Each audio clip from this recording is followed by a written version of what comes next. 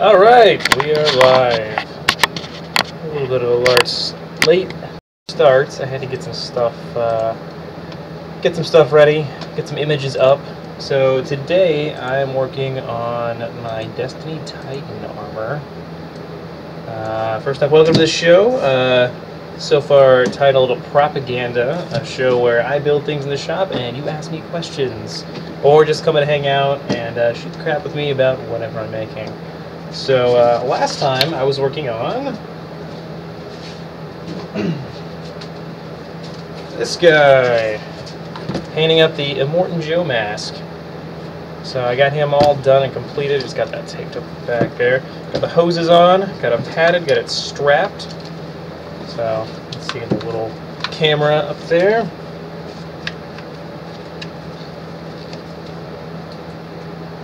There we go. Now I'm ready to ride forth into Valhalla.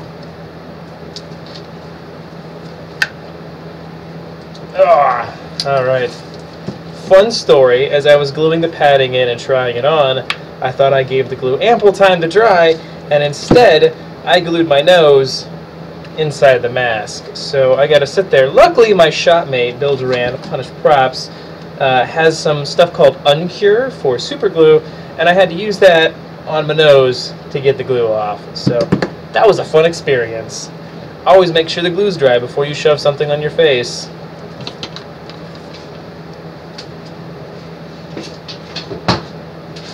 Do as I say, not as I do. It's a true professional there. All right, uh, let's see. So, getting started. Um, if you've been following me on Facebook, uh, WM Armory, uh, I started working on the chest piece. So I got these patterns, and these are attempt number two. Uh, hold on just a second here.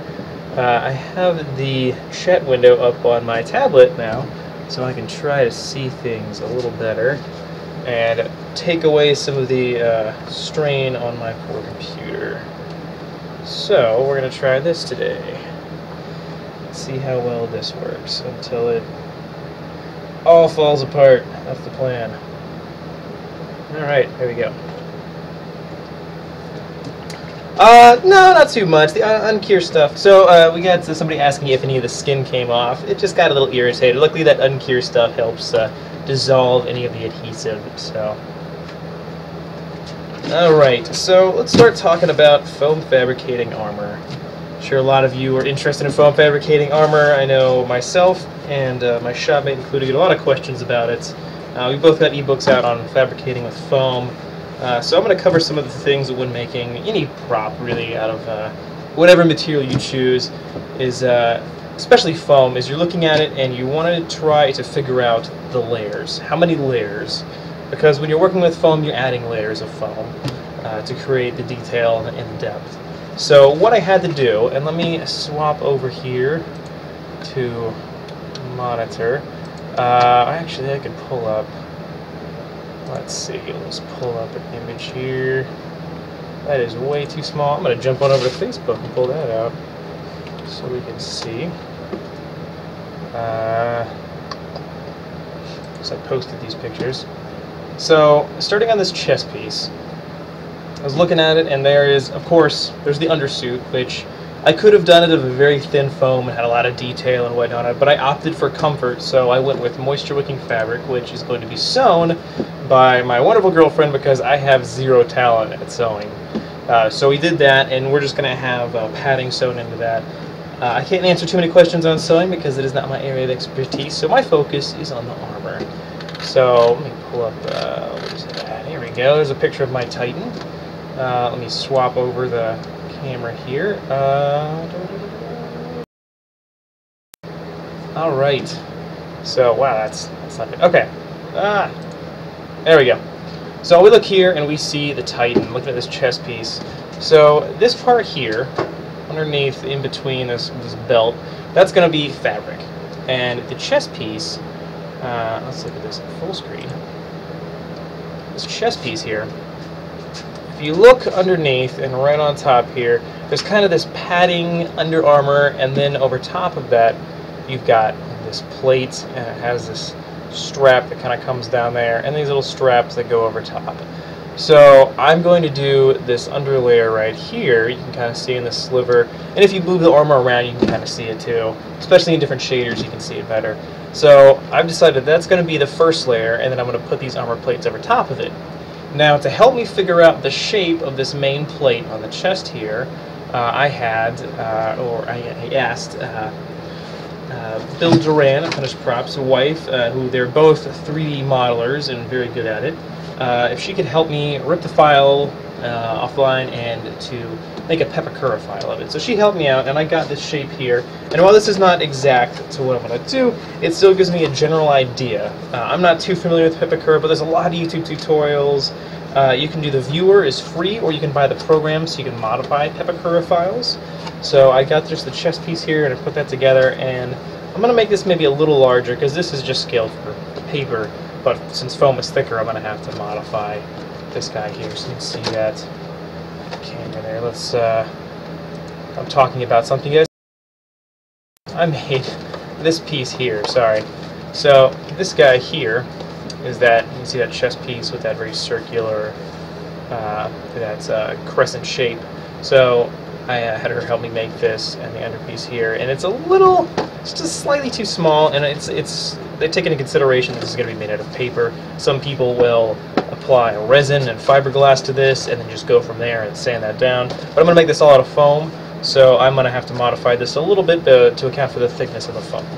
And that's going to go over that other piece, and I have the buckles on the side that are going to come around here. So uh, I'm still modifying this chest piece. The first one was trash. Uh, whenever you're foam fabricating, don't be afraid to make mistakes. Um, I made a lot of mistakes, and I, I anticipated that the first one I was going to do was a, a junk piece to, to make a pattern. And when you're doing that, I suggest you get the really cheap stuff, like Harbor Freight EVA foam, so that that way it, you don't worry about trashing it because it's it's cheaper, lower quality foam. Uh, this thing asleep over here. So someone's asking the name of the shoulder armor. So the shoulder armor in the picture that you saw of my Titan, that's actually from the Vault of Glass Raid. So it's uh, meant to be themed kind of like Cabal. If I take the shader off, it's got that kind of nice coppery Cabal, not Cabal, sorry. Vex, the robot people. It's the robot people. Uh, it's got that kind of coppery kind of look like they have, and it's it's meant to be themed kind of like uh, the, the Vex, uh, the robot people in Destiny. So that's where that's from. The chess piece is from the very first release of Destiny. It was the Vanguard gear you could get. The helmet is my Dead Orbit helmet, uh, which was also very early on uh, helmet model. They uh, reused a bit. It's also the same base model helmet used by uh, Lord Saladin, or Salad Bowl, as I've heard some people call him, uh, who does the Iron Banner. And the legs are the DLC 1 uh, legs that you can get from the Vanguard. So it's a mixed match. Um, I didn't uh, want to do an entire... I couldn't find a set that I wanted to do the entire thing. I liked this and I liked that. So I mixed and matched it, which is great about Destiny, and you can totally do that. So I mixed and matched it, and that's what I'm doing. And right now I'm going to work on the chest piece, because in my opinion that's one of the more complicated pieces. So, so looking here, uh, actually let's talk about my torso form before I go any further. Get some water out, mouth's getting dry. Uh, what questions do we have? Uh, I am eventually going to do a helmet, and uh, I am not going to do it out of foam. Um, I'm going to sculpt and cast that, and uh, I will offer kits. Um, but yeah, that is going to be a sculpt and cast piece, and I'm going to do that exact same helmet you see there. That base model is common and used in other other models, so um, there's probably about four base models I've seen for helmets, and they build things off of that or use that. Um, use those existing four base models.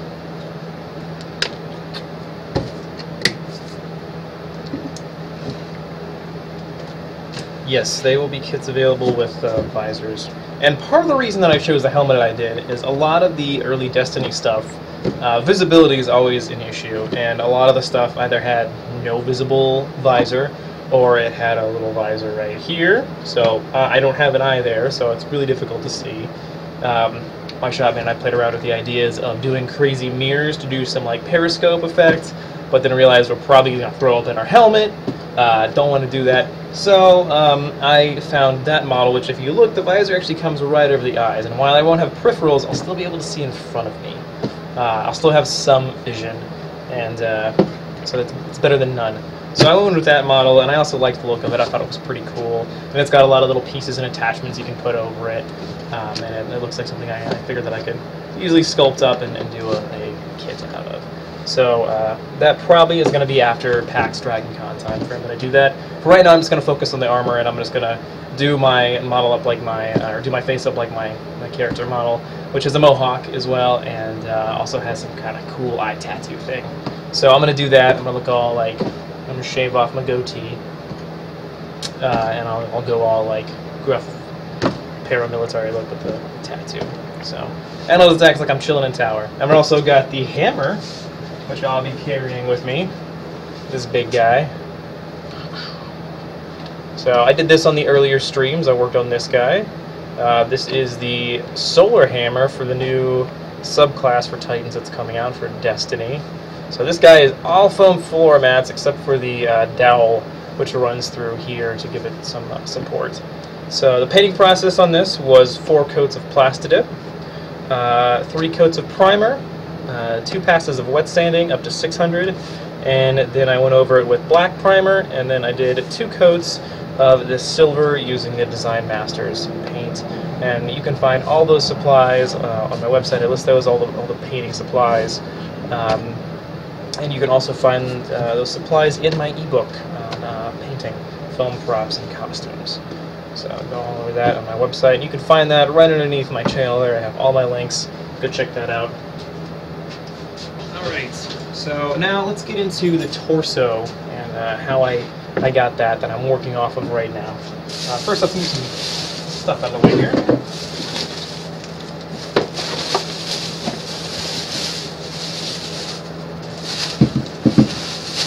A lot of people in chat making hammer time jokes. That's half the reason I made the hammer was because of all the jokes.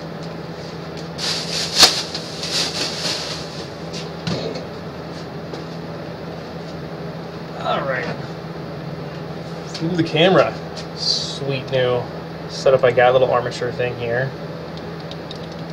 Move this all around. There we go. Boom. All right.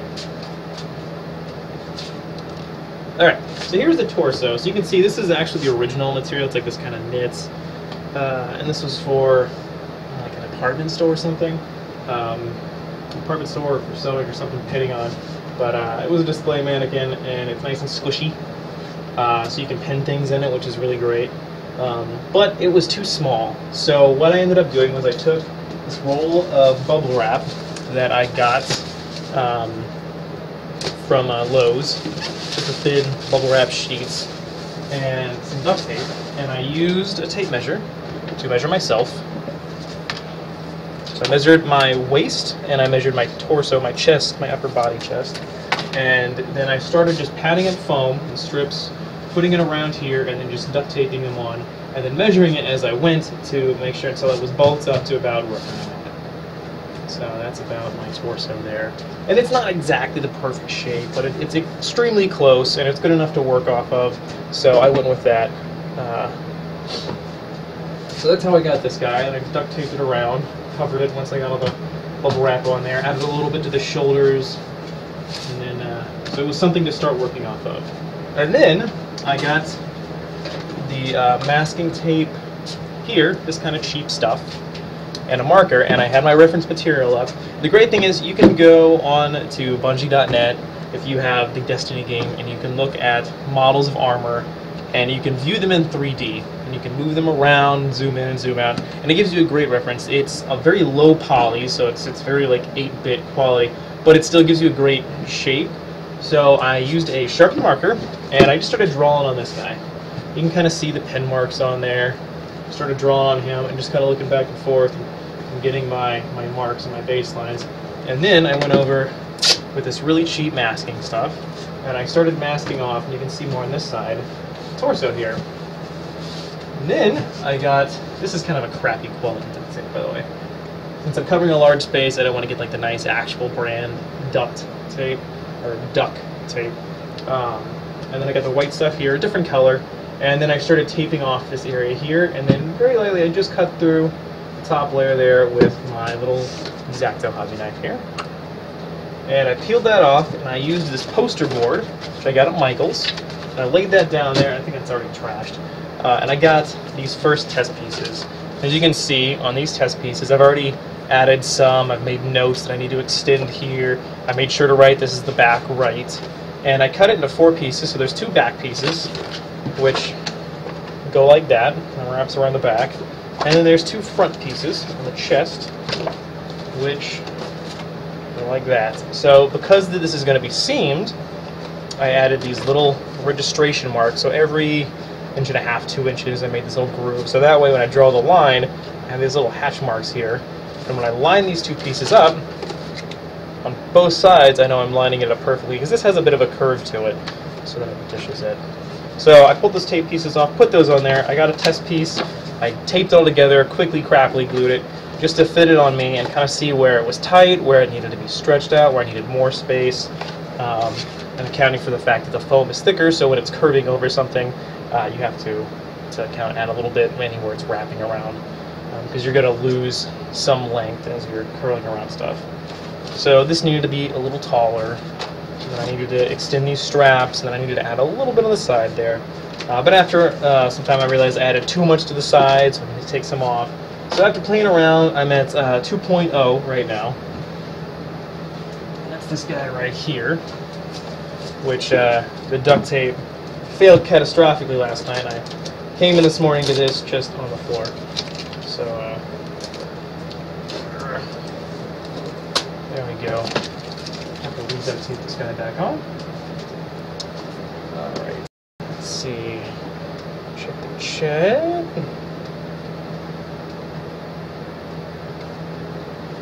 Yeah, I don't think I'm going to wear the parachute pants for my tight and do the hammer time dance.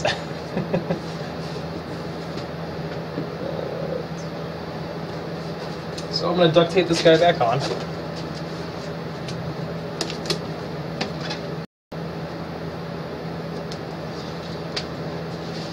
And then I'm going to start drawing on this based on my material here.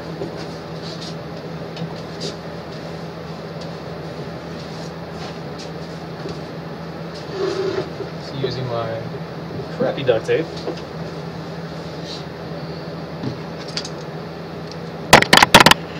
There we go. Nope, nope, totally bounced right back up. There.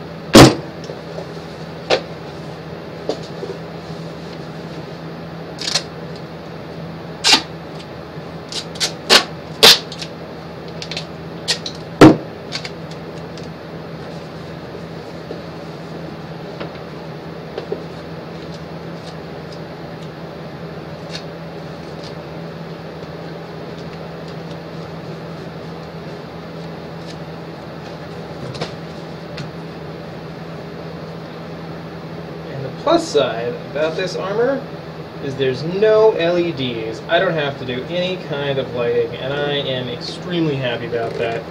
While I can do lighting and soldering, I don't like it. It's kind of a pain in the ass.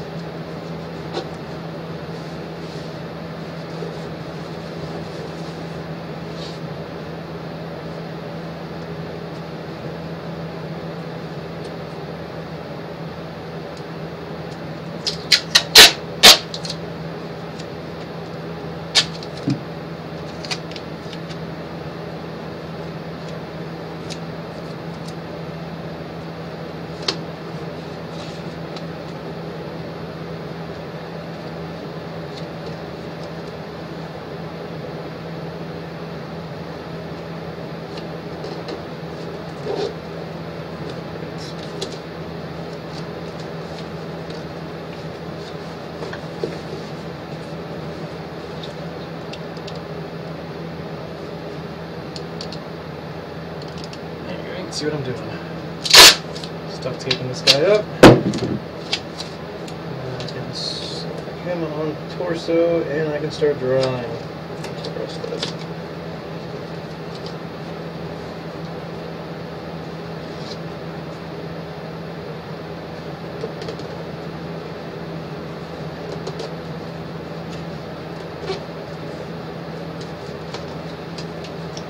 one thing I have to figure out still is uh, what I'm going to do for paint. What I'm going to do for paint scheme.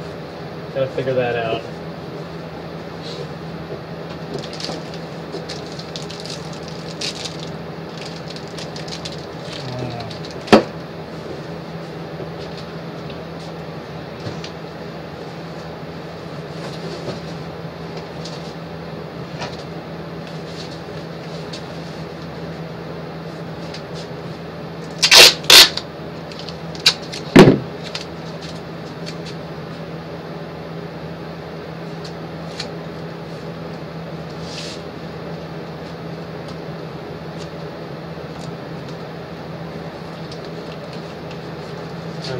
Girlfriend wants me to do the Prism Dancer shader, which is basically purple and gold with zebra print. One of the new DLC 2 shaders you can get from the Queen's Guard. Uh, and while I don't mind doing purple, I'm definitely not going to take the time to paint on zebra print. So, uh, not doing that one. And I might do my own modification of the shader.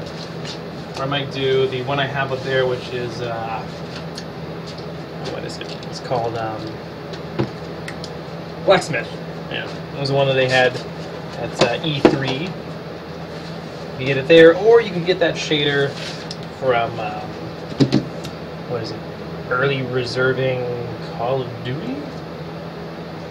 Either way, I have uh, awesome friend who stayed in line for me for a long time to get that, and thank you so much. So I now have my fancy shader. Alright. That kind of tastes like poop. Alright. Let's see, what questions we got in the chat here?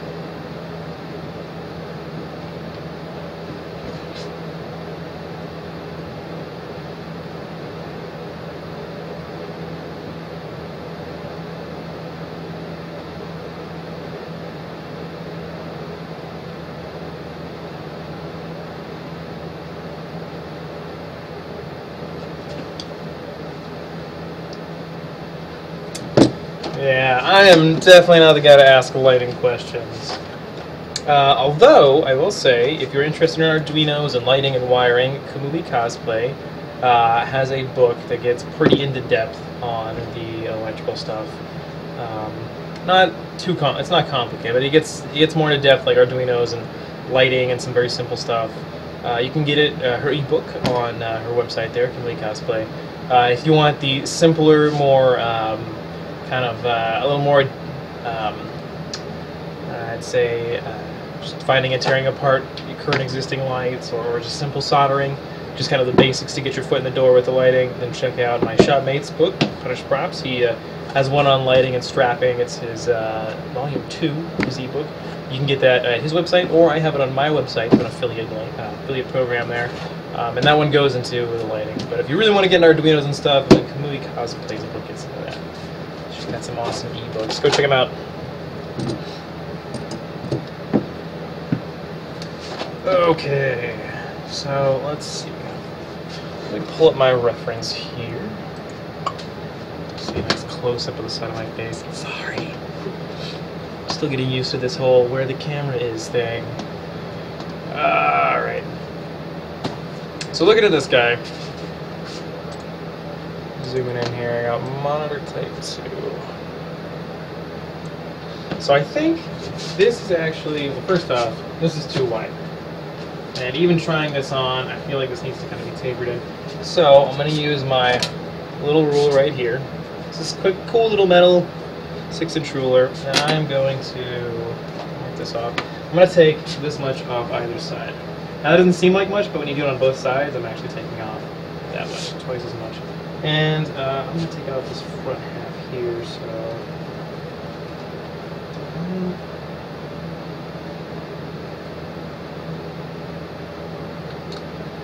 And when I actually cut this list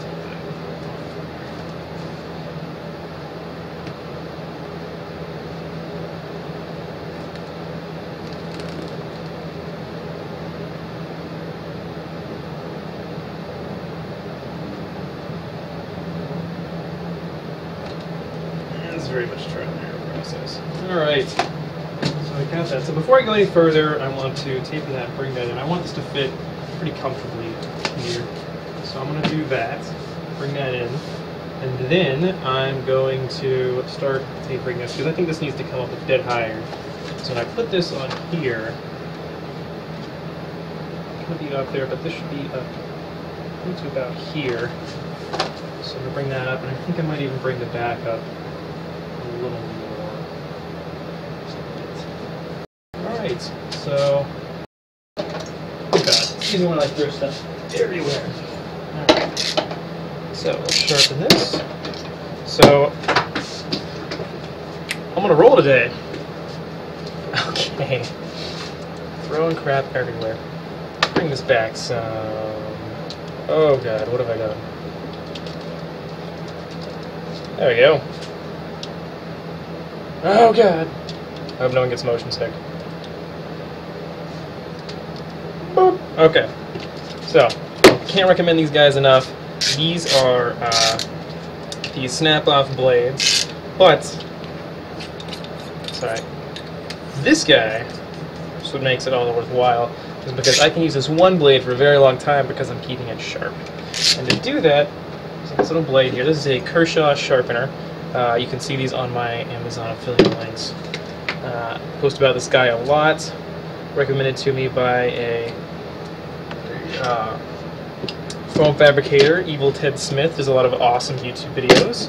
Um, but they are sharpening, little sharpening thing for razor blades. It works well, for knives, but it works wonderfully. And instead of going through a blade per sheet of foam, I can use one blade for weeks and uh, make it last. So, but to do so, you want a little bit of WD-40 or something to to lubricate when you're sharpening. Quick little spritz, and you sharpen that. I don't really count, but maybe about like 10, 20 times on the other side. Just give it a nice sharp sharpening.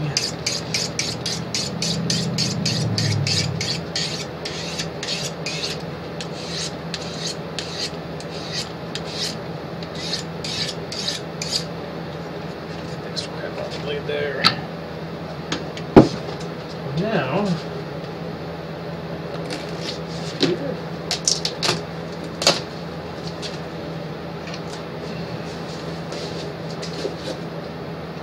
This one down. And now, I'll cut that excess off.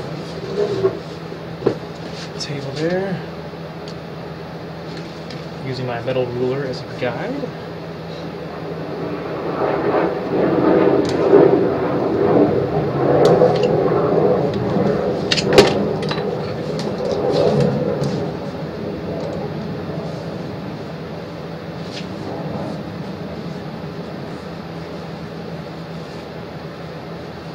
And then on the other side.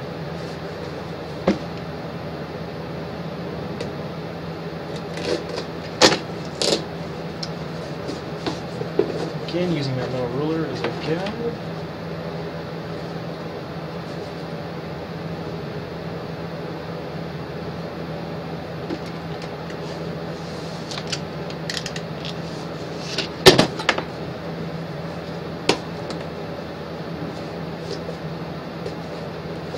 Let's do this guy real quick.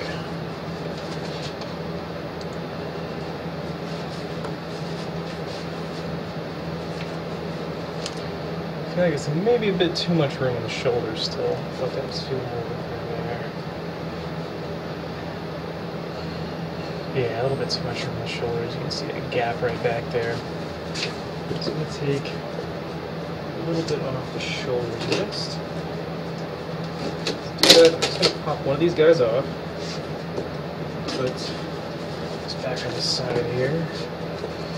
Doesn't have to be perfect, just close enough. It's just a test fit.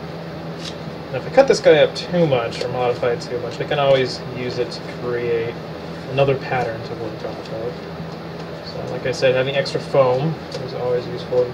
Not being afraid to, to use up materials, because you're going to, to make mistakes, or you're going to have to remeasure things, or it's always nice to have extra materials and that stuff. So I'm gonna Oh, that X is here. UPS or whatever. Alright. So. Just go there. Tape myself in.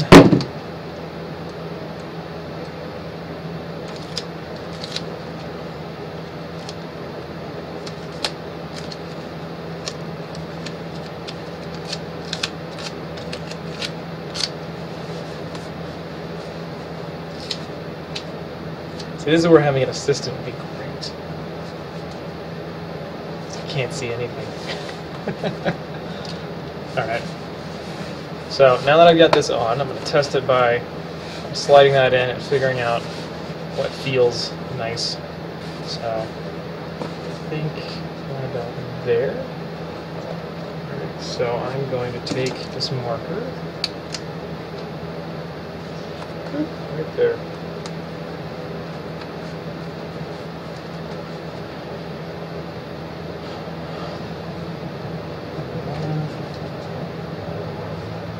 So I'm actually going to do a little less. Okay. That's fine. Pop this off. Now, since that's not exactly the same thickness as this ruler, we could measure how much that is, or it's about that thick. Using this metal ruler as a guide, that.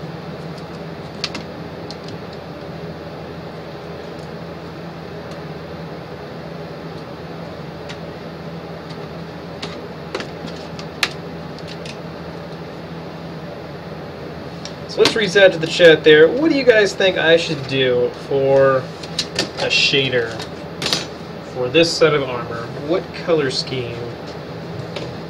If you're not familiar with Destiny, then just throw some colors out there. What do you think would look good? Should I stick with the picture I put up on my Facebook, which is the blacksmith shader? Should I go all out crazy do something like Aurora Blur or Prism Dancer, which looks more like it should be on a Saints Row game.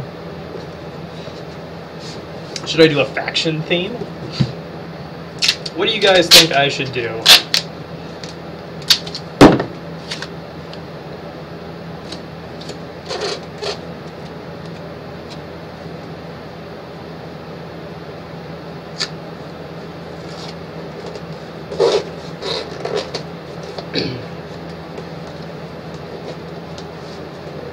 One of the Queen shaders? Now, one of the Queen's Guard shaders or one of Variks's shaders, the uh, Fallen guy? He's got some pretty cool shaders. I'd say his are probably some of the best in the game. Pretty cool. I have been looking at his Kingslayer shader, which I think oh, Kingslayer. It's that cool uh, yellow shader. Seems I should make my own up. Yeah, I, I'm, I'm down for that. Make up my own shader.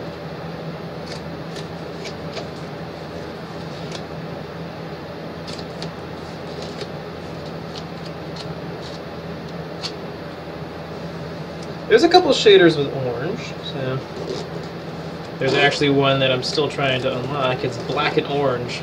It's very vibrant orange. Let's see. Back. Put that guy on. See how that feels now.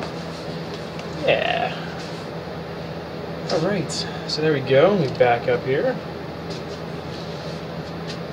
Should be good for soon.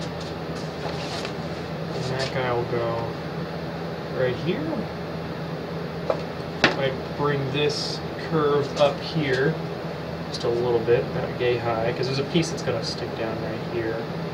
Cover that. I might bring this up more because it looks like a little more drastic curve on the picture there. And then same with the uh, back. It looks like it needs to come up a little more. So before I I cut those, I'm going to throw the back of the torso and look at them because they look like they're about even in the image I turn the picture this side. So, pop this guy back on.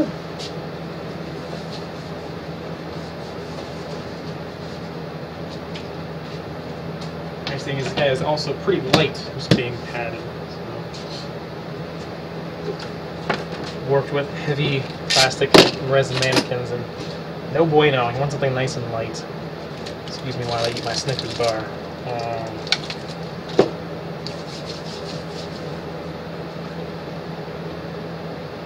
so, Mr. Badwick says I should do some Captain America colors. Surprisingly, there are actually several shaders in there which make you look like Captain America.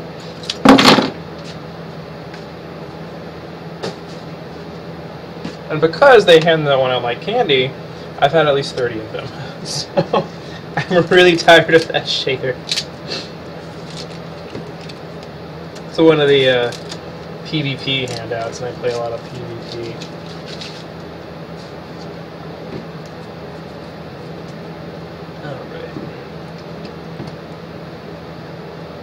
Well, my favorite faction is Dead Orbit, which is going to be black white and very, very dark blue.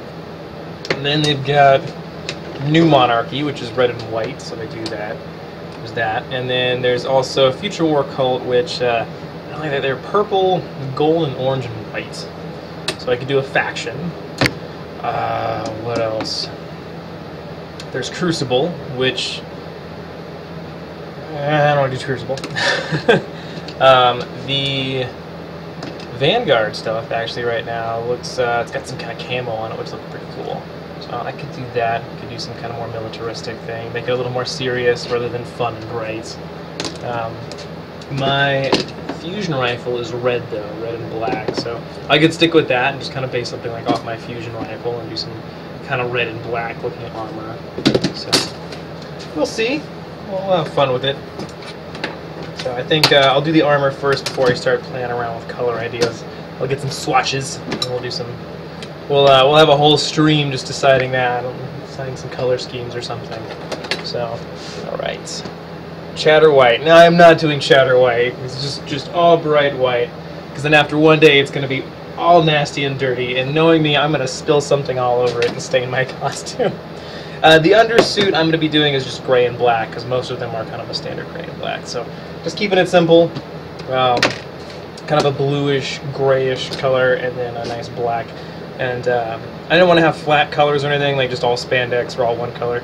So I'm doing, uh, it's all moisture wicking. It was very important to me that the undersuit breathe and, and not just trap in my sweat because it's, I've worn costumes before where I have had to, uh, I wore genius. It was upholstery. It was faux leather upholstery, and uh, I was swimming in my own sweat after a couple hours, and it was the most disgusting thing ever. So this time around, I'm like, no, comfort all the way. I want to be able to sit down. I want my skin to breathe. I don't want to be soaking in my own sweat. So moisture wicking um, fabric is important, and also like sports kind of fabric. So I got three fabrics. I'm gonna have the undersuit part, the formed bodysuit and then I'm going to have all the different pieces on there, all going to be moisture wicking, and they're all cool different kind of textures and look different, so it gives it some more dimension and depth, and then I'm going to pad sections with kind of like the musculature or the padding around there. I'm going to do that and cover that up, so it's going to be like a multicolor with padding on it for the undersuit, so really nice. And anywhere where armor is covering it, another fun fact thing you can do uh, to help it breathe is it's going to be like almost a fishnet, just very thin material, because there's going to be armor covering it, you're not going to see it, and it's going to let that breathe, and there's no reason to double up. Like, just because it looks like the padding goes all the way up, does not mean I actually have to do that. So this whole section right here is just going to be a window with just a mesh over it so that I can my skin can breathe and I can vent better. And if I just pop my armor like that, get the air flowing through there, it'll be nice and comfortable. So that was uh, really important that I have that. Red and black digicamo. Coffee stained Guardians. Red and black could be pretty cool. I could do red with the black part, kind of a digicamo. Kind of a grayish black.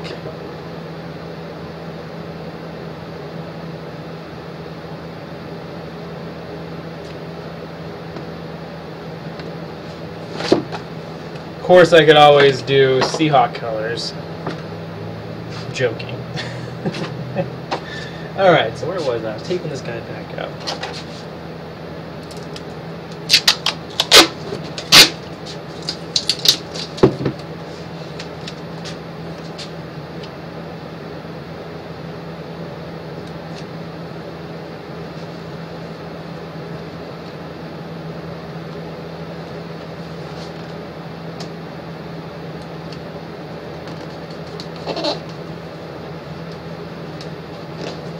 Big conventions coming up. We got Dragon Con and there is PAX Prime.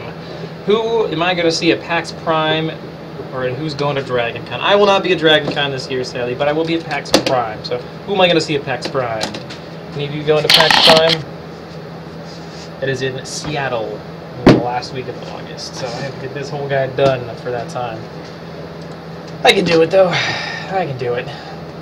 All right. This. Hmm, move this guy closer. Alright, how well is that looking at the camera there?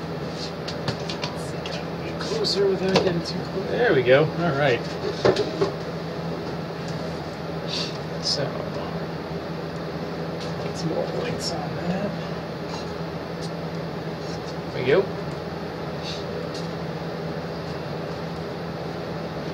So popping back over to my reference image.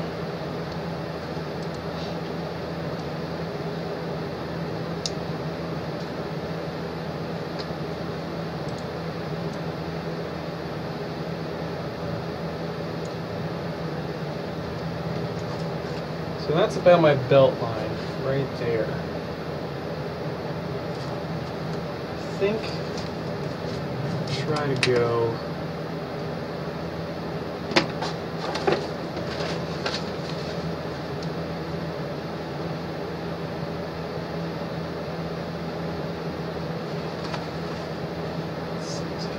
right there.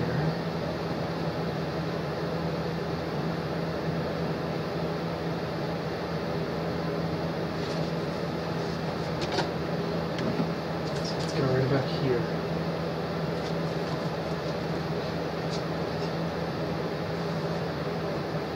It's freehand. I only have to have one side. Because I'm probably just going to pop this guy off, split them apart, and make a pattern off them. And then I only need one side because I'm just going to do a mirror pattern and flip that over.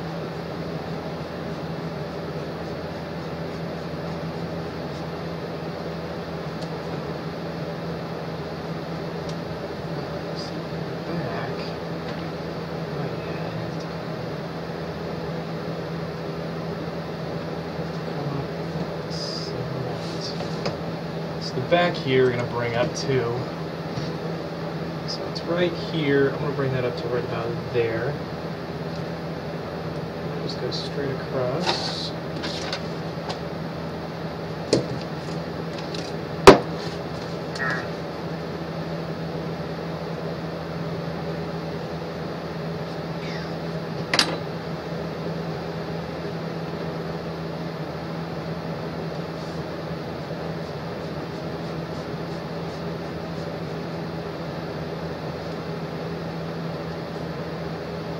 Coolness. So right about there.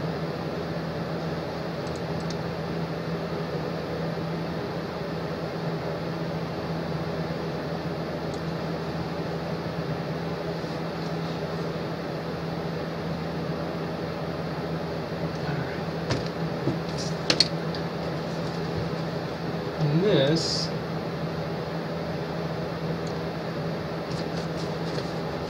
It looks like it actually is a little wider, but I don't want to make it too much wider because then if I try to bring my arms forward, they're gonna hit right inside.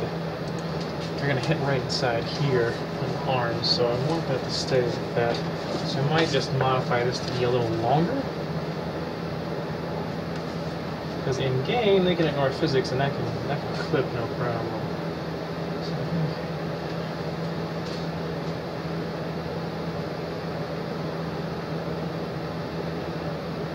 I also want to make sure that I'm maintaining this curve right here, the angle that's at. Looks it's going on about.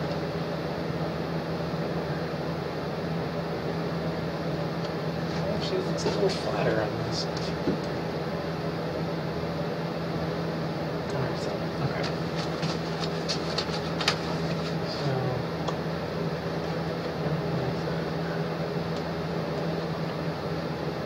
Yeah, okay.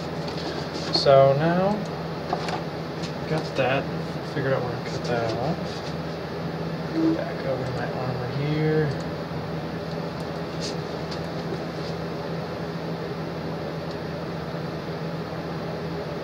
Hello Kitty chest piece. I don't know, I don't see it.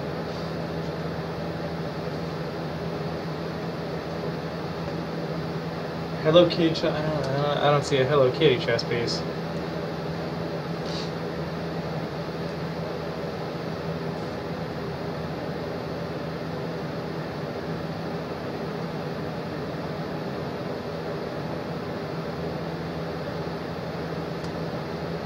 So uh, the reason I'm not going to DragonCon this year is um, one, my cat and his wonderful vet bills he's caused, and it just hasn't been in the schedule and the budget. So, but uh, we are going to go to PAX this year, so you guys will see me there and uh, be hanging around wearing this guy most of the time.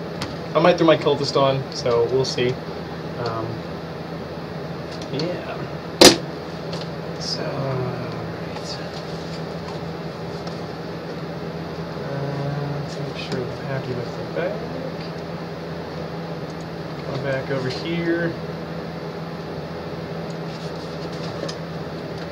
Hmm. Might. 'cause There's also this collar which comes up here. And. Yeah, here we go. Use this.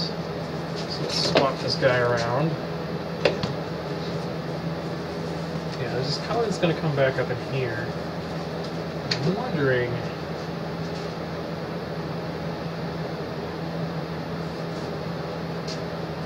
I might bring this whole back piece in on its. To do that, I might just make a line that comes right here. So that way I don't have to refix that. If I do like a V shape here, and I'll bring it like that, should bring that back in a bit. So it'll go from here to about here. And that better. I'm gonna try that. That better. I also want a more curve there too. Yeah, take that. So, let's see, drawn on this side. Bring it in too much because I have to remember if I bring it in on this side, I'm going to double it up over on this side. One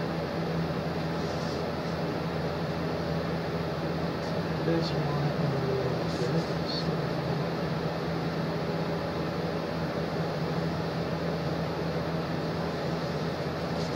That's good. Should kind of help bring it in.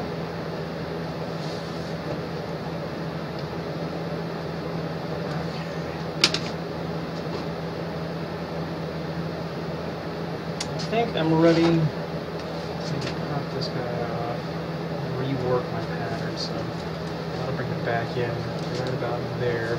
That's more where I want it. Instead of out so shape. Just gonna bring it back in like that. Yeah. Okay. So I'm gonna pop this guy off. Happy with the size now.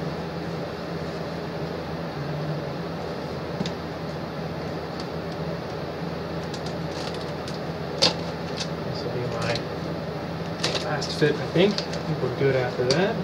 I also think this needs to be a little straighter so much like these. That's gonna come up a little bit. I have to remember that. Just pop this guy off. I'm gonna move him out of the way. Back over here. Use the camera, bring it right down here so you guys can see what I'm doing. Stuff out of the way here. It's gonna take up some room. Close this guy up.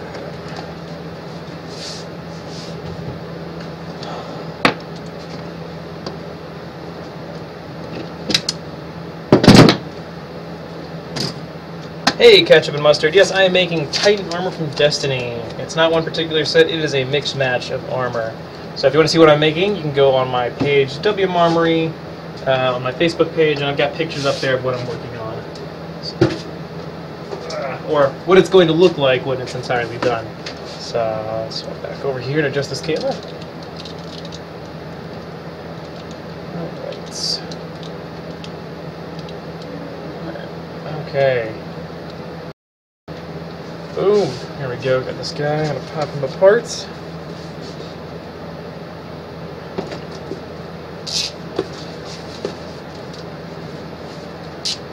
Once I have this done and I'm happy with the shape here, there's like pads and pieces along here that I'll start drawing on and figure that out. And then I'll start working on the other layer and kind of work my way up. And once I have those shapes, then I'll start worrying about the detail layers and like adding the thinner layers of craft foam to create the, the rivets or the plates or the buckles or the, the other accessories on the armor. So that'll be fast. Right now I want to get the base shapes and the angles, the curves and all that. So that's that's my focus with this right now.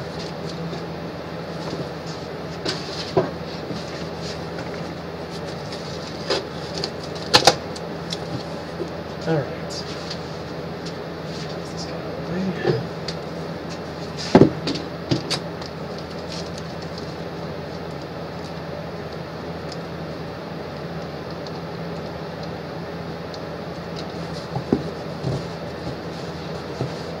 All right.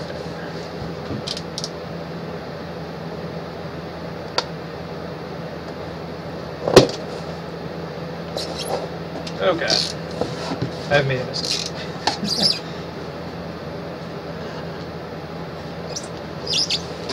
Oh, there, let's sharpen this guy up.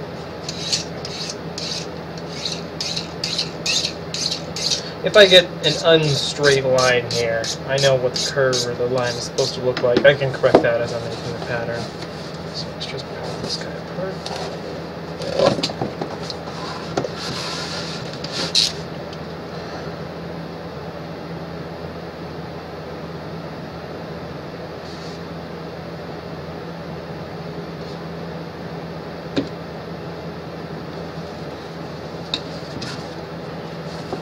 that. Not too worried about that being clean right now. This is just a test piece. Right on there. This is my front right. And I'm going to grab the back piece. Make sure I grab the same right side I drew.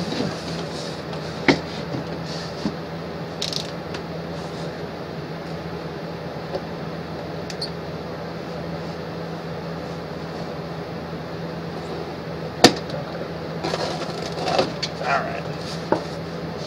Toss that over there. Now we cut that. Make sure this guy's extra sharp.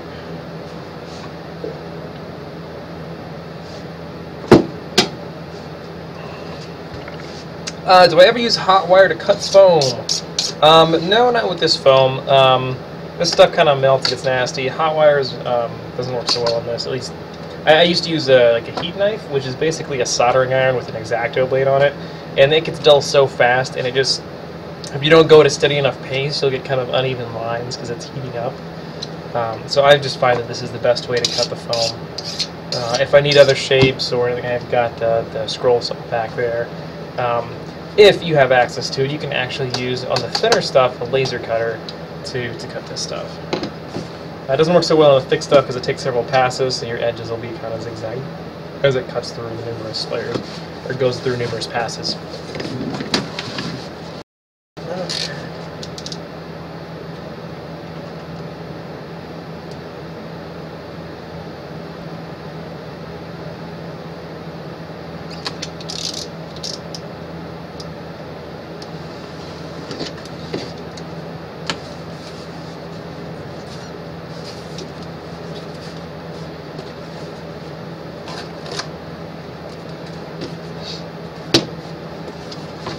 Okay. Actually, try and transfer these to my other piece of paper changes so that I don't have to waste a whole bunch more cardboard.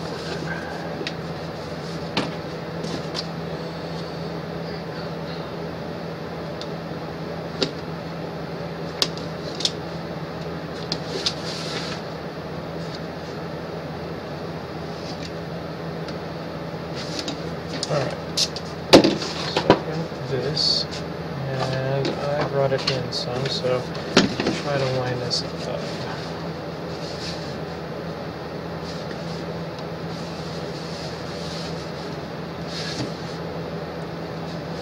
Just using a pencil, just get more blending. And then here. And I know I need to extend this.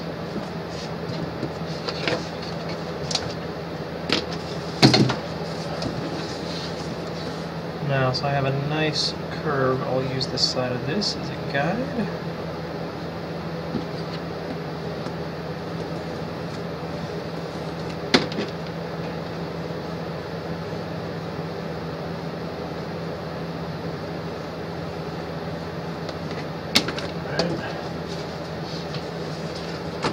maintain this curve right here.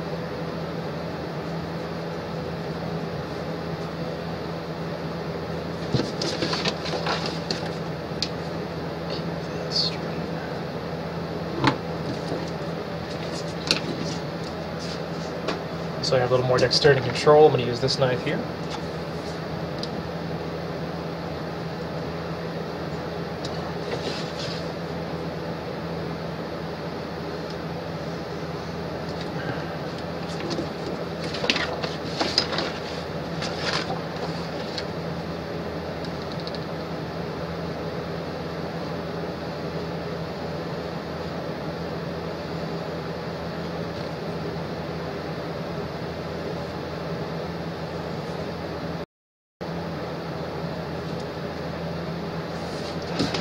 It's very important that I do my registration mark so that this lines up perfectly, or else when I put my edges back together, instead of being nice and, and uniform, they once I get to the end, they could be like that. So to make sure I have those lines in there because this is kind of a curved shape that I'm putting together. So these stayed in. I gotta make these ones a little bit low. Using a knife, cutting a little V shape out. Don't want to go too deep. The Registration lines, just enough to get the point across.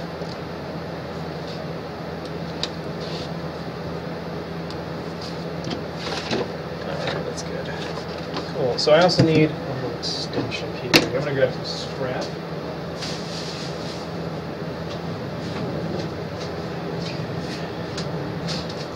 get my piece here, figure out how much of an extension I need.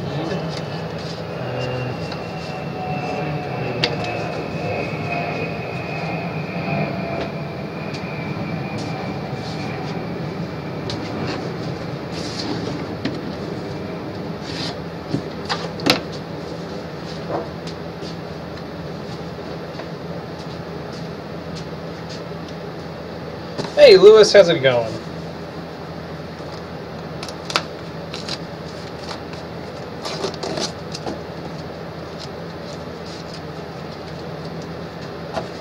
Alright, grab my other armor over here that I modified. Let's uh,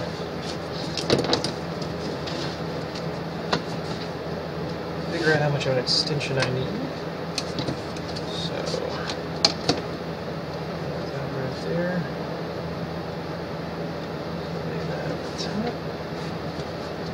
That's my pencil edge, so that's three notes.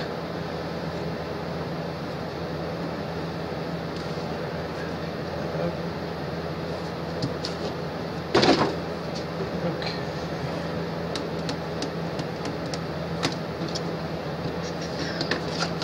Now, I'm going to glue that on. I'm going to use some uh, spray adhesive just on the back here. Stuff is great for just gluing paper together, doing paper pattern. Sometimes I'll use kind of a thin newspapery stuff, but I like uh, right here. Hey, that threw more stuff around. Hey, that's pretty sturdy. So, you like to use this stuff for making patterns. It's got a one inch grid on it. It's actually a game mat, like a disposable game mat.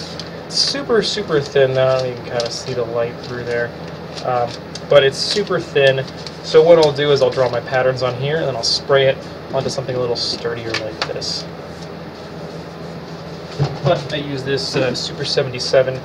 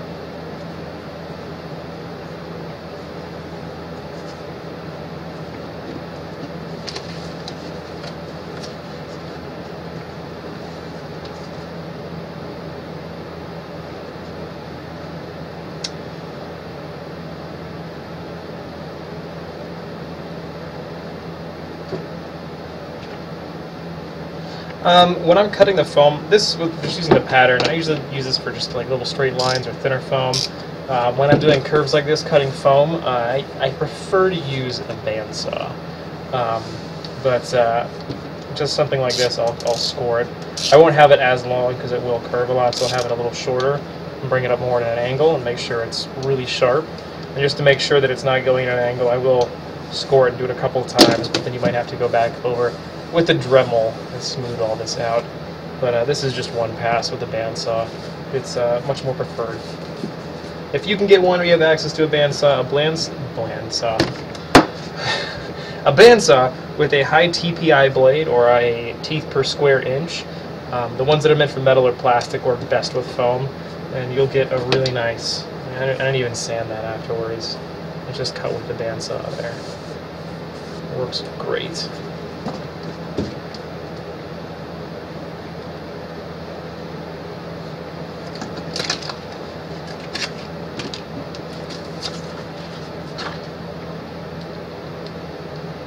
all my patterns now are cut out with the bandsaw.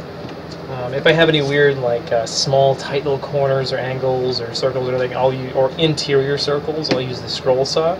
Uh, the reason uh, for interior interior, I cannot talk today. The reason uh, interior circles, so like a loop or a hole or a trigger well for a gun, is with the scroll saw you can uh, you can take apart one side of the blade put your piece in there, you drill a hole first, you feed the blade through, you reattach it at top, and then you can go and cut out your piece, the interior, dismantle it again, and pop that back out. Um, you can't do that though with a bandsaw uh, because it's just one solid loop. It's a band. Um, so you can't piece that through there. Uh, and also the blade's much thicker, so you can't get tight angles. The scroll saw, it's a very thin blade, so you can get very tight angles and tight turns. Um, but the, the blades, you can probably get a higher CPI blade that'll work really well with foam.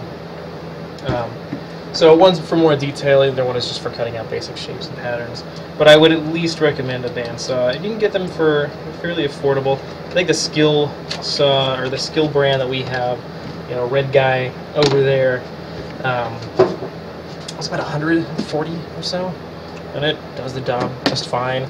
Uh, the nice thing is it has an angle on it, so the platform that you're cutting, you can adjust the angle all the way to 45 to 90, so you can have uh, whatever bevel you want on there, and you don't actually have to sit there and measure it and cut it out. So it is a lifesaver. It cuts foam great, gets the job done.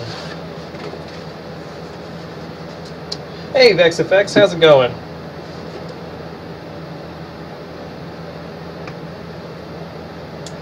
This this is for an event. I'm doing this for PAX and for whatever cons after that. So, uh, play a Titan. It's my second favorite class. My preferred class is a Warlock, but uh, more fabric there, and my girlfriend said she's definitely not going to sew me. So, I'm doing this. But I love the look of the Titan gear. It's pretty sweet. Gonna go ahead and Titan. And that's actually my Titan that you see in the picture there.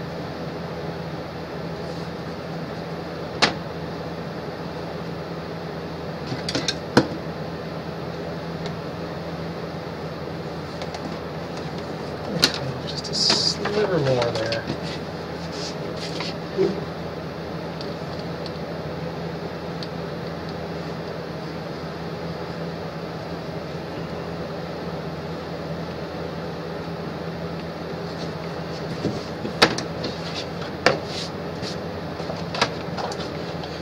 Yeah, having a workshop area is very beneficial. I did this when I started in just my apartment when I was living in Tucson. I had a setup in my bedroom, and actually you can go on wmarmory.com and you can go to my tutorials, scroll back a couple to the tutorials, the blog section, and you can find a um, blog post that I did on a weekly tip to make your own dust collector. This is the model or the setup that I used in my apartment. So when I was sanding EVA foam, I didn't get dust everywhere because it is in my bedroom. Um, and I did all my sanding and everything in there, and I had a shop vac hooked up to that. But I show how I did the entire setup, but like the very simplest, cheapest version of it. So you can go check that out and make your own setup if you don't have a shop space. But having a shop space definitely helps. But uh, you can most certainly get by with just a Dremel and a heat gun and uh, a patio grinding on. Yeah, see, Yeti in here talking about how the Titan is the superior class, but I'll tell you what, my Warlock, without overshields, can withstand your shoulder rush. Because I got the Ram helmet. If you don't play Destiny, there is this helmet that basically makes the Warlock the toughest class in the game. They're already a pain in the ass to deal with. But Warlocks are pretty damn fun to play, and they're tough. I don't know. I would argue Warlocks. But that's my biased opinion.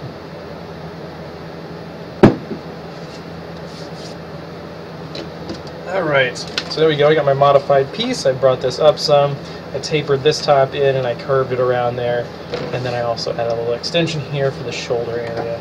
So now I'm going to do the modifications for the front right piece.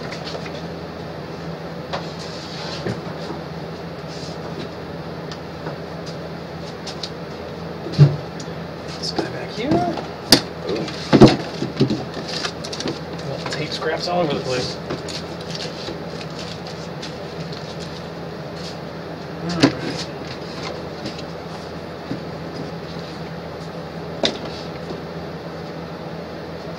So You say that you'll wear those boots and I can't survive, which is absolutely correct. I cannot survive a shoulder charge from the Peregrine Greave boots. However, if you're wearing those in PvP, you're missing out on armamentarium.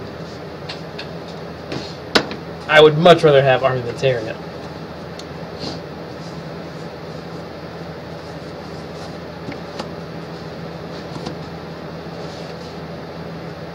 So let's see. I brought this in. So I'm going to bring this guy in here. Oh, stick my head right in the camera there. So graceful. Something I got to get used to. Where that damn camera's at.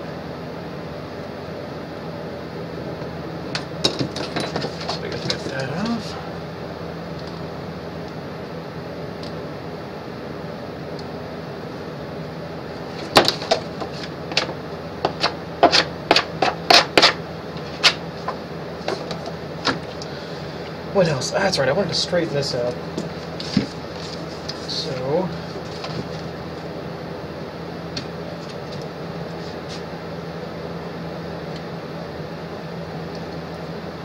Find the end of this. Which subclass do I prefer? Um, for fun, I think the Void is a blast for the Warlocks. However, if I'm doing PvP, I'm all about the solar build. My current tactic for PvP, if you guys play PvP, is I use Thorn, because I'm that asshole. And with Thorn, I like to use um, the they're called firebolt grenades, but you chuck them and it fires out three projectiles, auto hits people, and I have the Viking Funeral. So the whole idea is it's a poison build, I throw my grenade out, tag somebody, sets them on fire, and then I tag them with Thorn, and it keeps ticking, so it's a damage over time thing. And uh, when I use my super ability and I'm just chucking out grenades left and right, I can clear a room pretty fast. The nice thing is, I don't have to see you, I just have to know somebody's in that room. So that's that's my build. That's what I prefer. And when the change goes through for the nerfing of guns, I'll probably switch back to using Red Death. Or I've got some uh, Vault of Glass exotics. Not exotics. Vault of Glass guns I'll use.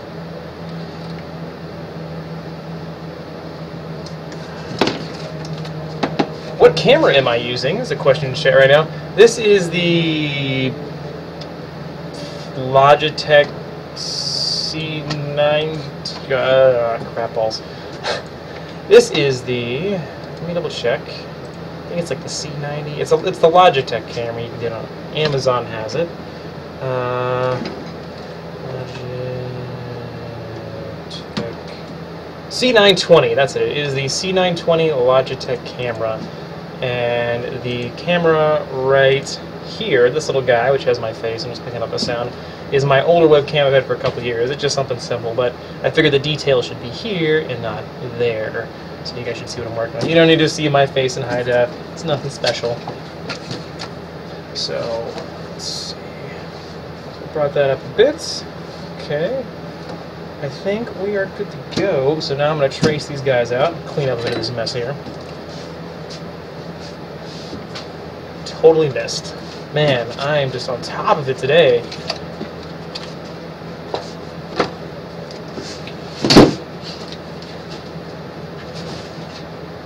So I've got my front back patterns here that I have adjusted based off the tries I've had, and this is uh, try number three. I'll put my tape back.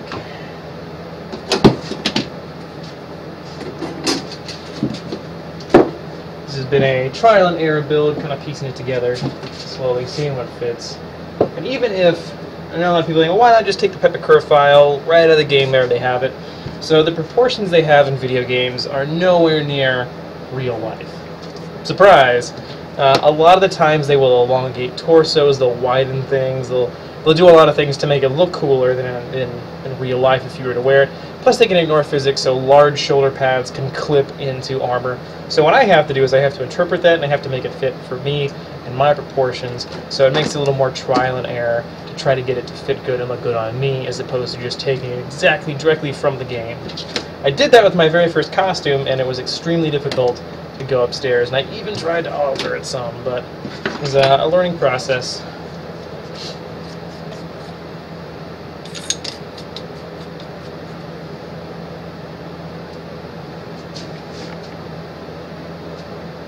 I haven't heard about the, the C930 um, camera. Uh, this C920 was recommended to me uh, by some people who do live stream stuff. Seems to be a pretty popular one. Um, I'm pretty happy with it. I got it used for a little cheap, a little cheaper. Um, works just fine. So, and right now, as I'm beginning all this setup, it's it works. It does what I need it to, so I'm I'm content with it. So. And if you guys want to improve the show and maybe have two of these cameras set up and better audio, maybe I can have some music going and some better software, uh, please consider becoming a Patreon on my Patreon. Becoming a patron on my Patreon. You can go on over. I've got a link there underneath my uh, underneath my channel, or if you go on wmarmory.com live stream, you can see there. And uh, go ahead and become a patron if you uh, want to help out, but you can't donate. Then spread the word out there, share it, other people, let them know what's going on. If you want to see more live streams, more tutorials, you want to ask me questions about making props and costumes, and get my advice on stuff on making those props and costumes, then uh, please consider helping out there. Everything goes into the show, makes the show better, makes it so I do the show more often and for longer periods of time. Let's do more videos, more tutorial, more content, do a lot of tips to help you guys make costumes, or just watch me do awesome art stuff. So, K-Ron, how's it going? Did I say that right? Spiffs? Spliffs! K-Ron Spliffs.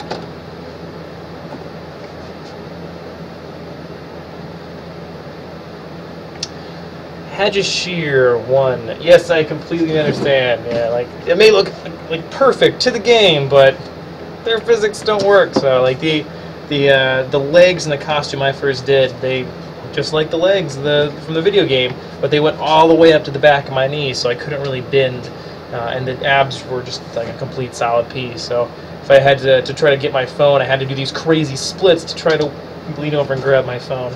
So after that, everything was an articulated piece. So. Visual Jamie, yay! This is your first time catching one of my live streams. Well, I hope you enjoyed. We've got about 30 minutes left. So right now I'm working on my Titan armor. Working on the chest piece here. So this is the front right and the back right. This is the third attempt I have done at uh, sizing and fitting. So I'm going to trace these guys out now on a nice clean piece of foam. And I've set this guys aside to cut. So, oh, that's one thing I forgot to do on this. Well, I remember, I brought this little piece up here, the test piece. So let's transfer that. Let's use my pencil here. Didn't have any let out. Awesome sauce.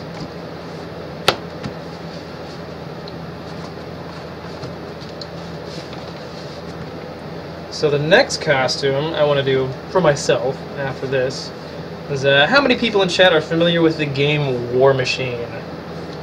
Tabletop war game. They've got a video game. They've got a card game. They've got a role-playing game. How many are familiar with that system? Because I would really like to do a Warcaster.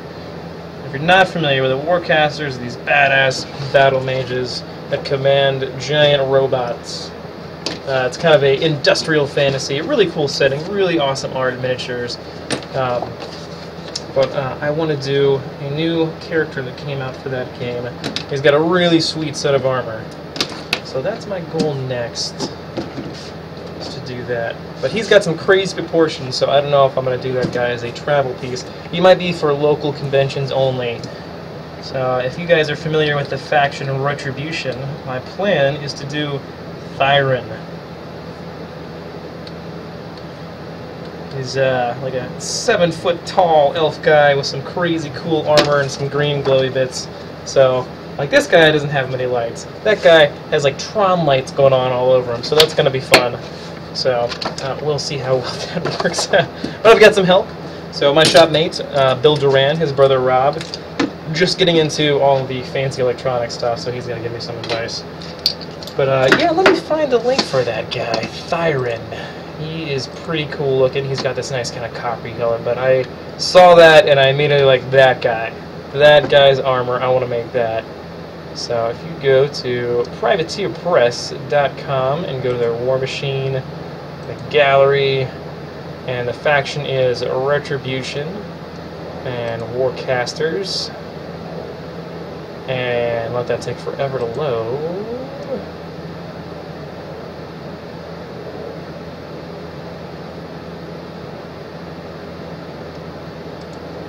Alright, scroll on down. There he is, Thyron, the Sword of Truth. Check him out right there. This guy up in the chats. Boom, check that out. That is the guy I want to try to do. It's going to be a blast because the proportions are going to be crazy. Especially that sword. That's like uh, a... That's my height sword. It's huge. How did the Mad Max mask turn out? Let's check that out.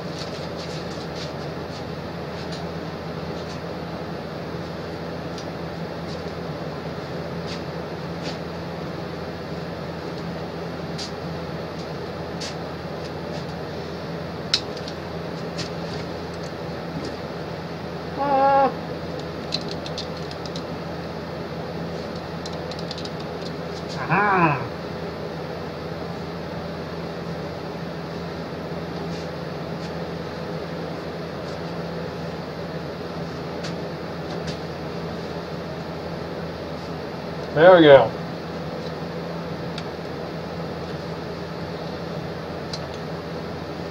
So I added an adjustable strap back here. You can see a little slider. Try to dirty these guys up. And then a little buckle in the back here that goes around the neck. Uh, where are we at? We're right there. A little buckle that goes around the back of the neck. So it's pretty similar to how the uh, respirator would fit on. So figured it's his respirator, so why not make it fit like a respirator? And how did I get those hoses and grun so grungy and dirty? I rolled them around in the driveway. Authentic dirt.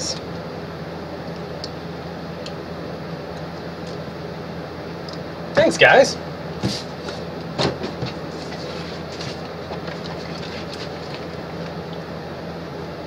yeah, Thyron is pretty much a ninja robot thing, and yeah, he kind of does look a little bit like Guyver.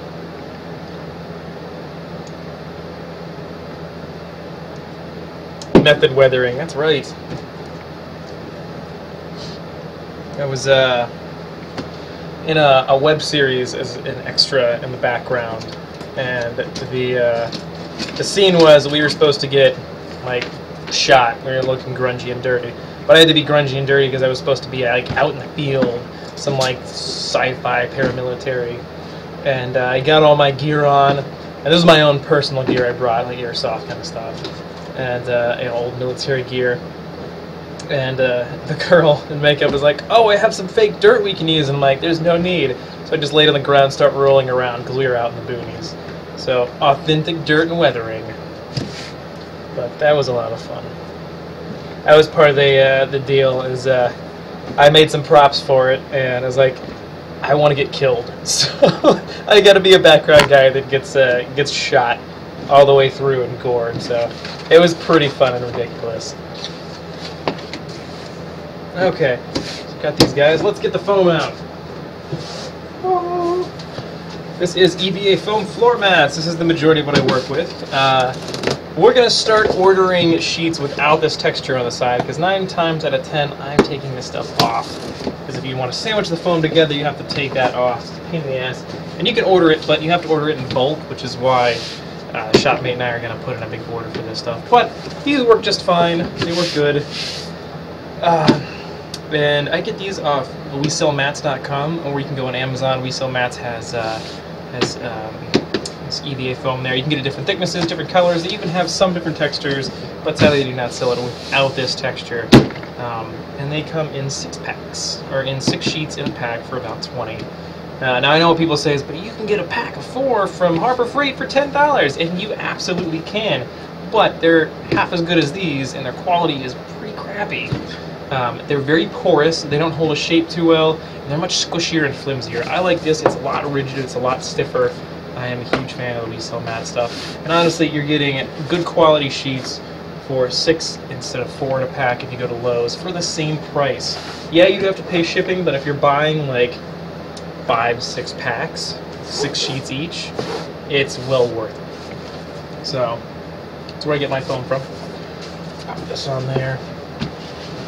And since I'm not using the texture on the other side, it has no reference. It doesn't matter which direction I do this so the texture lines up. If I'm using the texture on the other side, I will try to make it coordinate so that it, it seams up pretty nice and the texture's lined up. Because you don't want one texture going this way and the other texture is going that way, and you line it up. People are going to know. So, But I'm not using that, so I can use this however. So when I'm transferring patterns, I don't like to use a Sharpie because the Sharpie's too thick. I use just a big pen. I buy bulk packs of these because they go real fast. They're kind of crappy. Um, but uh, the key is not pressing too hard, but they do a nice thin fine line and they work just fine. And they're really cheap.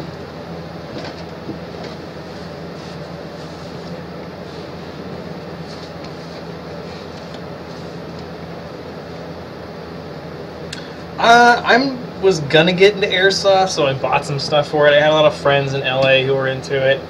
Uh, I started kind of considering it. I've done a lot of like done other things. I've done paintball and other things before, but I ended up not getting into it because it was another money sink, and I already have expensive hobbies. So it was more the the money sink that deterred me.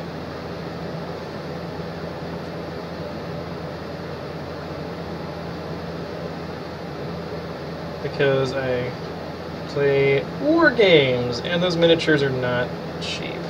And actually, I was thinking of uh, maybe once a month coming on here and building and painting miniatures. Just having a live stream where I come on and I paint miniatures. It'll be a good way to paint my army up because I've got a ton of models. Lot of them are painted. So I'll mark on here. And I use the Sharpie for marking words and making notes because it won't leave an indent.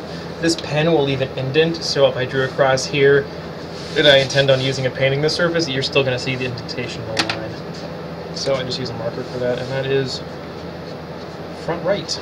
It's FR.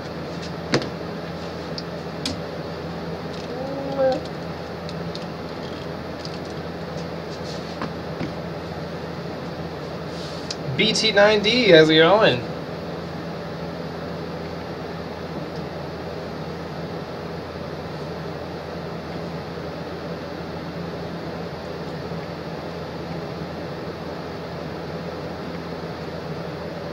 I didn't realize that there was a miniature painting community on here. I wouldn't call myself a painting master. I mean, I get the job done. But uh, I think my biggest issue is I hate painting the same guy ten times when I'm painting units. Okay, painting. I've also recently started painting miniatures with an airbrush, so that's something. Fortunately, if you were here for the last stream, you got to witness my air compressor crapping out, so still got to order a new one of those. That is front left, FL. I don't think this guy's gonna fit. Oh, oh, uh, uh, no. Nope. Hey, wait, try this way. Try this way. Uh, uh, uh. Yep. Nope, nope. Wait. Oh, forget it. That's gonna be a pain. So I use the bandsaw, and I don't want to have this big giant sheet. So what I try to do is just cut the basic shape around it out. So it's a lot easier to manage and to work with when I'm trying to cut it out of that. So I'll just trim that down.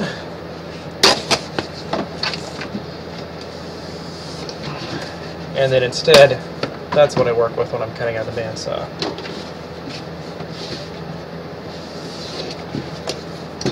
There we go, set this guy's aside. Oh god. I missed again.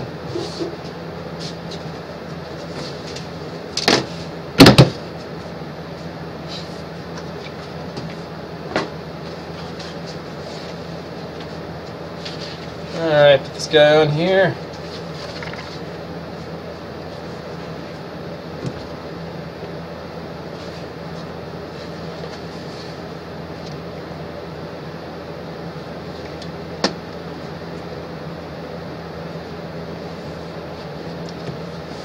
Oh, BT90 is hosting. Thanks, man. That's awesome.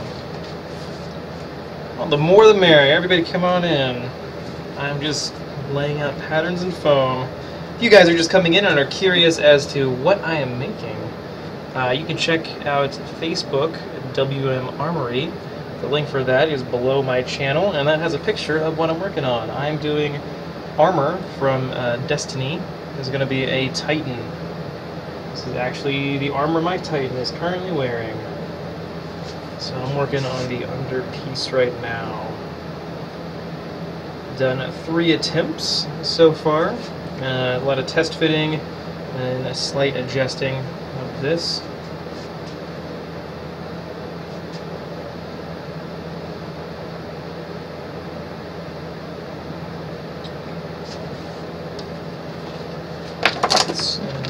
back right. Mark that so I know which side it goes to. Let's see, can I get these both to fit? Yes, I can. Plenty of room. Okay. Oh, one thing I forgot on the other pieces, I forgot I have my registration marks. I'll have to grab those. Registration marks are very important so that you can line up your piece as you're gluing it together. That way nothing gets all screwed up and uneven.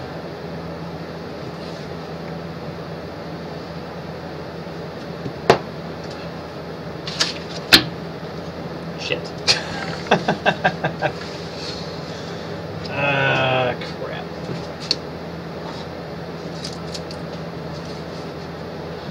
I don't need two back rights. So to rectify that, I'll use a blue pen.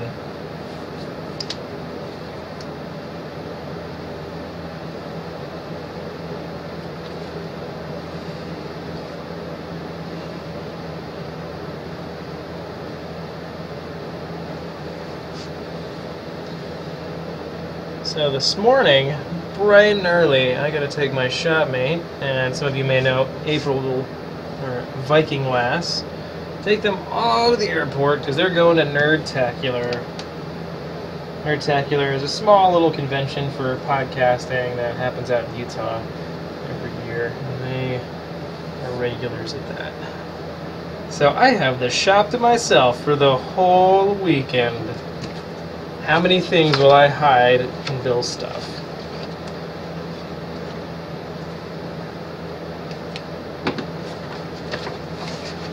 Should be interesting. So for these, those of you who do not know, my shopmate, Punished Props, and myself, uh, a lot of shenanigans goes on. Mostly I hide, or draw and hide phallic-shaped objects all over his workspace and he does the same to mine.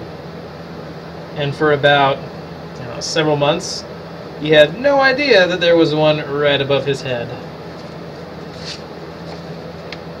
Fun times. times. We're all adults here. We're just a couple of guys in our 30s still laughing at fart jokes.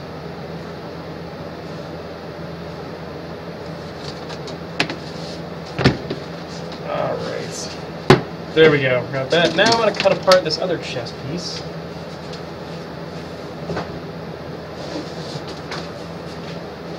As I throw more foam around. I cut this guy out now. So, let's see, scissors. I'm not going to run around naked because there's plenty of sharp objects and dangerous tools here, and I would like to keep everything intact. So, uh, no to running around naked around the shop. Thank you, Hajishir, for that recommendation. But, uh, nope, I'm currently wearing pants that you know of. I mean, I could probably live stream in my boxers and no one would know.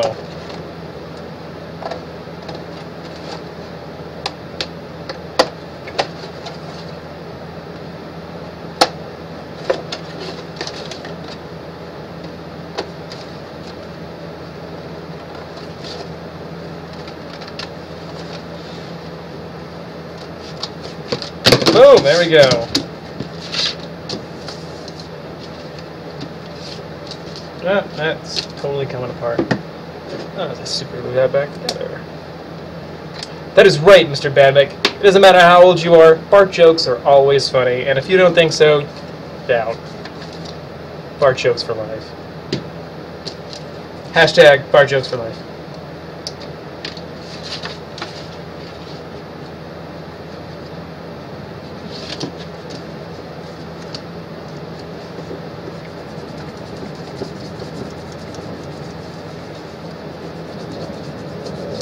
Yes, visual Jamie. Dick butts. All the dick butts. There's also at least a dick butt hidden in every ebook because they're all over our tools. Not intentional, we just forget that they're there and they end up in books. So look carefully when I'm using tools in ebooks because you'll probably see a dick butt. That's right. You start that hashtag.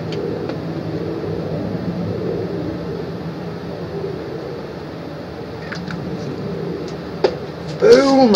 Okay, and just like the other one, I only have this guy. Because I can always just flip it right over. Um, where is my little ruler?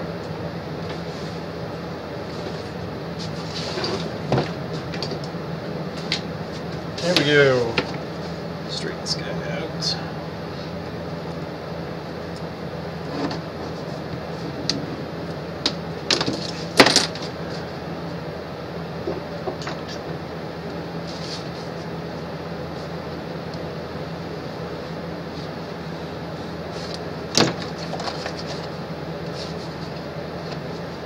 Okay. Now, going back over the picture, this because Pepakura is stupid. This is actually more of a straight line, but Pepakura put it like that. Good job, Pepakura. So what I'm going to do is straighten that out.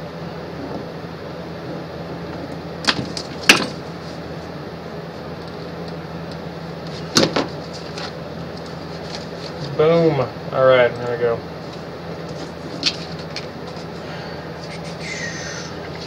Now, get some moisture forward here.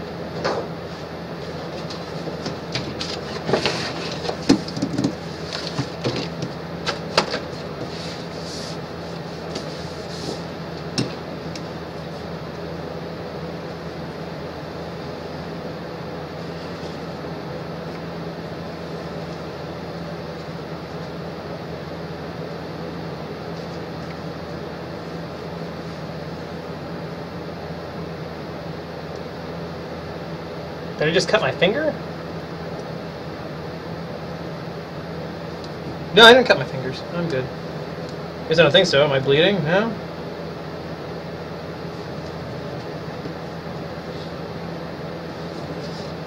Okay. There we go. I'll flip that guy over.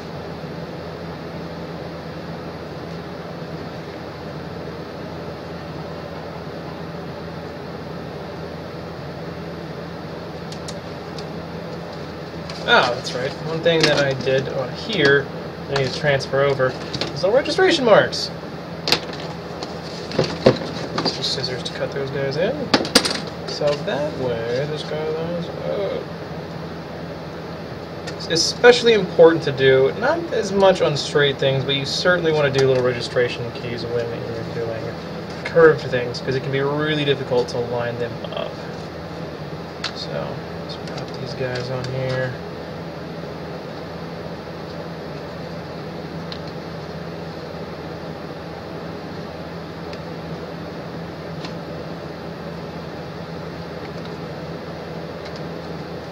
Oh.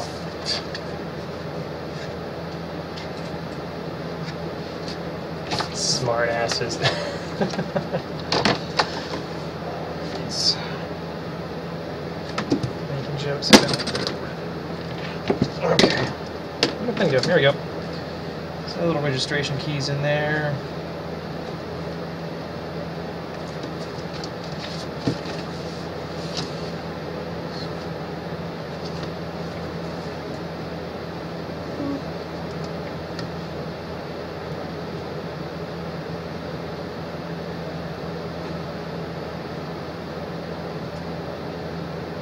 Alright, About 15 minutes left. You guys got any prop making questions?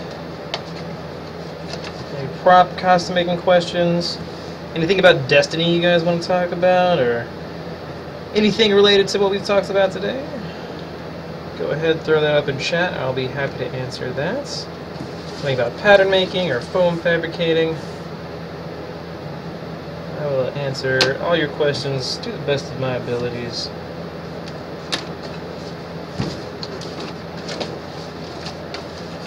And remember, hashtag fart jokes for life.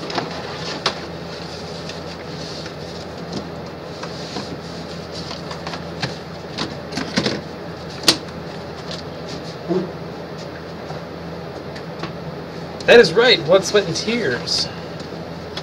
And if you missed it earlier, I actually super glued my nose to the inside of the mask. Not on stream, so uh, no one to witness.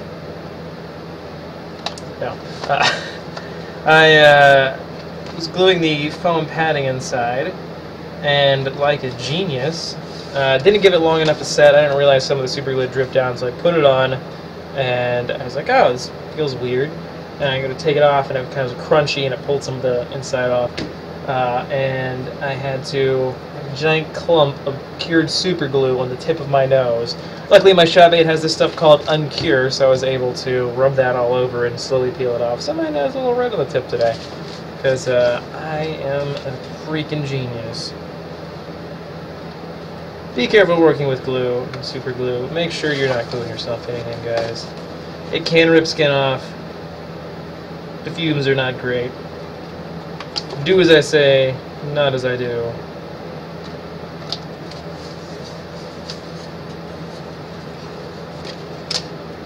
Alright.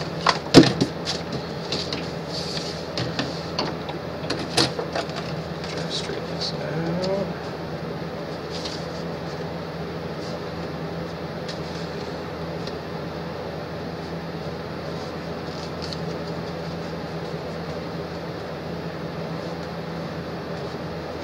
How to make a curved bevel for foam edge. Uh, well, Mr. Badmech, if you go to wmarmory.com, you go to my tutorials and you scroll back a ways, and actually, you know what? Let me try to find it just to save some time here. Uh, I actually did a whole thing on beveling foam, and there's another one on making a blade edge for a knife, which you could use both of those to figure out how to do an axe. So I'm going to pull up a couple of tutorials and tips right now, and I'm going to link those to you guys. One is going to be on doing supports for the internals, which uh, is shown. You guys can see my hammer, how I did that. And then if you go to... Nope, that is totally... I already screwed this up. No! Tips. Here we go. Load.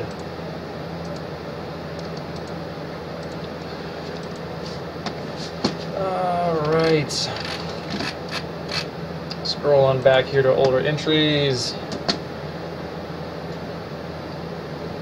Yeah, one of the earlier ones is um, adding a bevel edge to foam. It talks about doing that, and all you need for that is just a Dremel. So, super easy. Um, it's a Dremel, a pen. Uh, uh. Actually, there's one. And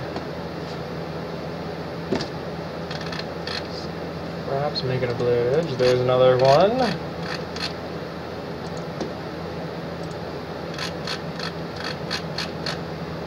Definitely film. Alright, here we go.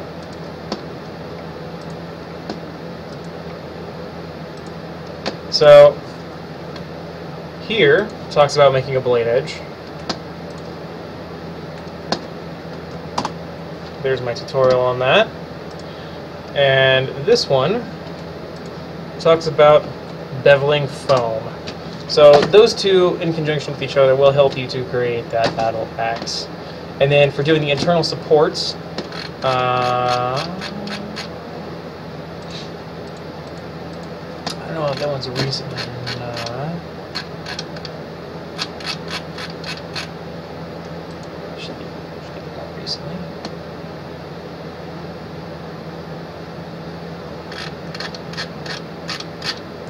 Uh, but there is one on there for making internal support for your props so that they're not floppy.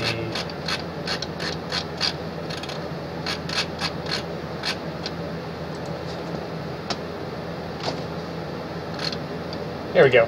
Internal support for your props. Oh, so these three things should help you to build that battle axe. Go ahead, check those out. Give them a read over. Um, that'll help you guys out. So we got about seven minutes left here on the show. Any last questions you guys have that I can help answer, send you guys in the right direction? Or any good stories of gluing yourself to stuff?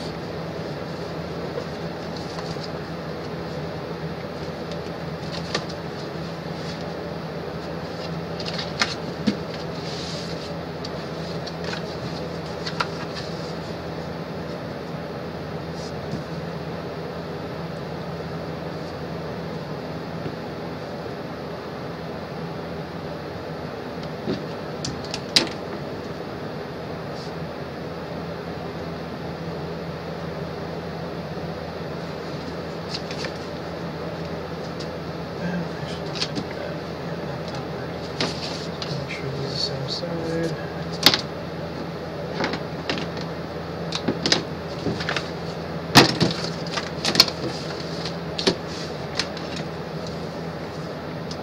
Happy to help. That is what I'm here for.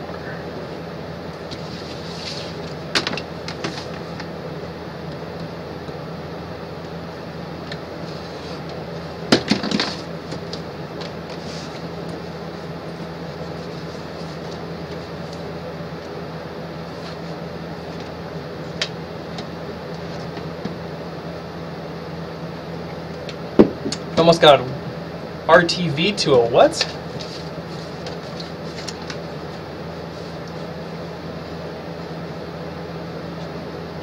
What glue would I suggest? Barge. Barge is a contact cement. Any kind of contact, most kind of contact cements are going to work great on foam. But overall, I would suggest Barge. This stuff is phenomenal. It's a little potent, so make sure that you have a respirator or good ventilation going. Uh, but this one comes with an applicator. Uh, this guy, what's the cost of this guy? Um, you can get this guy on Amazon. I have a link in my uh, if you go to my FAQ on the right side, it says Will's Tools. I have links to a lot of the materials and tools that I use. You should be able to find barge there. Um, this stuff is wonderful. It's a contact cement, so you put a little on one side, a little on the other side. Give it a moment to get tacky, and then you slowly put it together, and it will hold. It is really good stuff. I highly recommend this. Uh, you can get this online. If you don't want to get online, you can go to um, any uh, leather supply uh, or leather um, anybody that like sells leather or leather materials will have this stuff. It is a great brand, Barge Cement. So that is my recommendation for glue if you are getting into foam fabricating.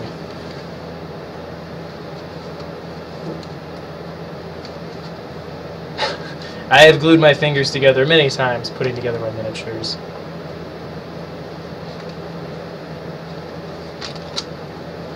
Yeah, the red one uh, is, is a little better. It's a little more potent, a little stronger. The the blue and yellow one, I think they took some chemicals out to make it a little more um, friendly and not as hazardous and toxic, toxic, toxic. But the red and yellow can is the one that people want. If you guys are super gluing stuff to yourself, there's a little. Let me grab the container before you.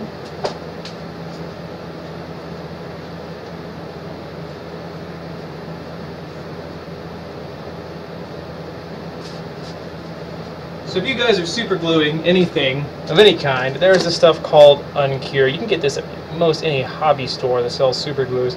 Should have Uncure, and this will help. It doesn't work instantly, so don't just put a drop on and rip your hand apart. You glue yourself together though, or you want to unstick a model. This stuff, it's Uncure. and You can use that. It'll slowly break away the adhesives. I recommend that.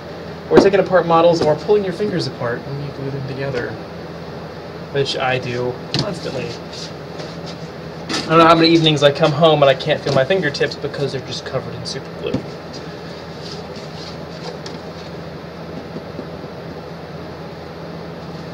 Yeah, there is uh, different stuff in, I think there's two different kinds of really good uh, contact cement if you are in the UK area. Um, and Artie Fakes, I know, uses them and recommends them. Uh, that is a foam fabricator located in the UK area. So check there. And uh, yeah, uh, also I know Punished Props is going to start doing this. He's going to put together a nice grid for wherever you live in the world what the equivalent is. Because I know some people can't get EVA foam, but it's called something else. Or you can't get barge cement, but they have something that's very similar. So all those international and proprietary brands and whatnot.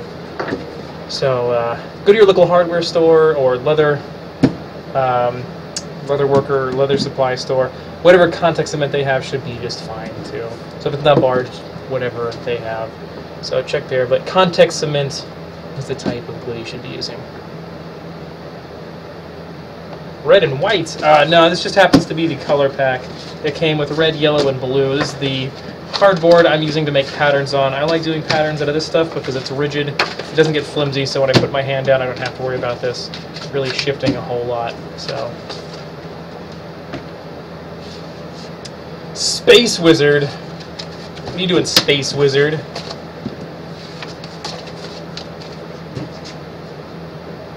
you need adults to tell you what to do. I do too. It's true. I don't. I don't know what I would do without an adult. A lot of times I need an adult. All right, guys. Well, we've got a minute left. Any last questions you guys want to squeeze in? Uh, and we'll close the stream and call it good, and uh, we'll see how it's going. I might do this on uh, Friday. We'll see. But uh, if you guys enjoyed this and you want to see more live streams, want to see me build stuff, want to see me paint stuff, want to help the quality and improve the show, uh, better cameras, better software, better sound, better lighting, better just all-around setup, more frequent, then please go on over to my Patreon and check that out. Uh, donate a dollar here, there. Any little bit helps. If you want to help and don't want to, don't want to donate, then please just spread the word around. Uh, any little bit helps, and it goes into the show and making it better. Thank you guys so much for coming. I really appreciate you guys coming here and hanging out with me while I figure this this whole armor suit out. And uh, I'm just making the show fun and enjoyable. I really like doing this stuff, and I like to do it more. So, hope you guys have a good one. Have a good uh, rest of the week, and maybe I'll see you guys on Friday. All right, everybody, take it easy.